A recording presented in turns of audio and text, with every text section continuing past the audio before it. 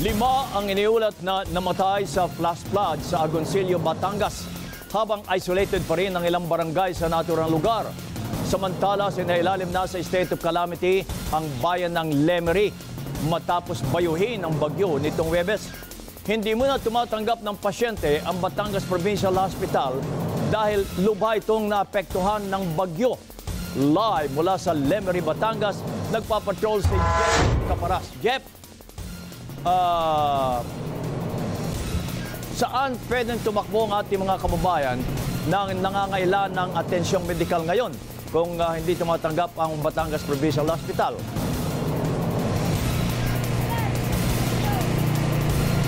Kabayan, ang pinakamalapit na government hospital dito ay ang District Hospital sa bayan ng Balayan. May dalawang private hospital naman ditong pwedeng puntahan dito sa Lemery, ang Metro Lemery Medical Center at yung Our Lady of Kasasay. Sa ngayon, kabayan, wala pa rin kuryente at tubig dito kaya pahirapan pa rin ang paglilinis ng mga naapektuhan nating mga kababayan dito.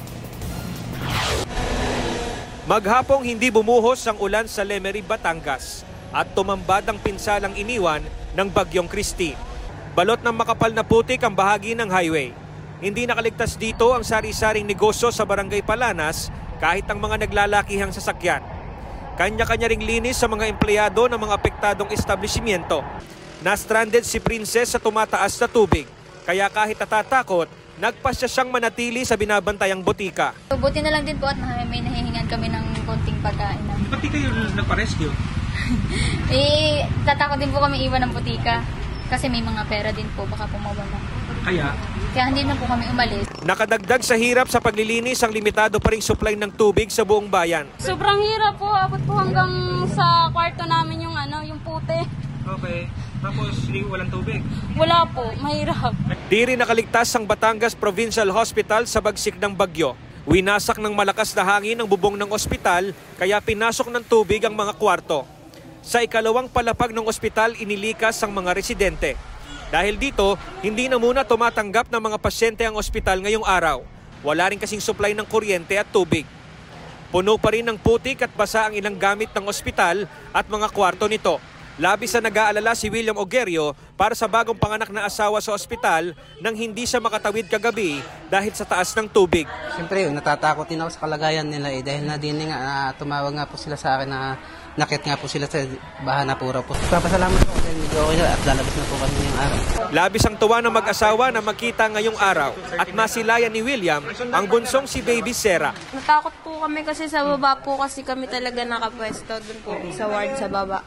Eh, ano po, unti-unti po tumataas yung tubig doon. Eh, cesarean po ako kaya ano, ang hirap po ng naranasan ko ngayon. Kaya, opo, bilang nanay, kailangan pong lakasan ng loob para po ma masalba po kami.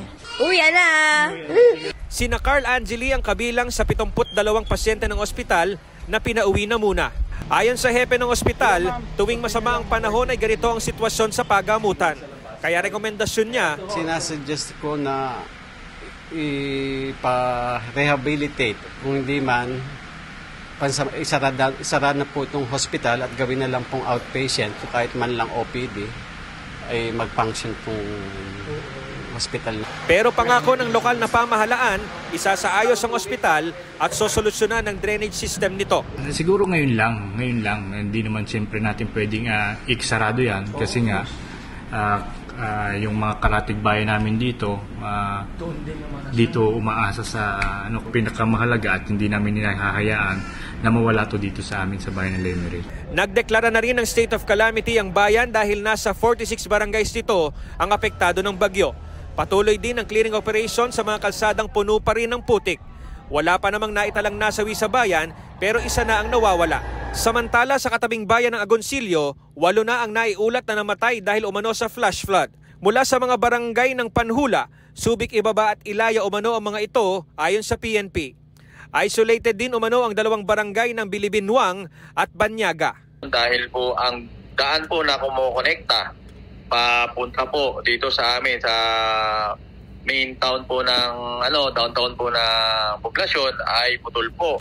And dito naman po sa boundary namin na Laurel eh ganun din po hindi rin po madaanan. So, I considered po yung Bilibinwang at Barangay Banyaga na isolated.